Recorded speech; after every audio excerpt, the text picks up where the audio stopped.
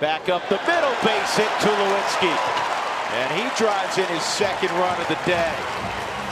3-1 Rockies. So Troy's got a single and a double now in the game.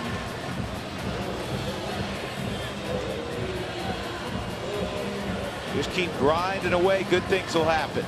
Well, they will. I mean, this is a very good player, an all-star player. Guy that had a lot of RBIs early. This right past the toes of Cashner into center field. Venable's going to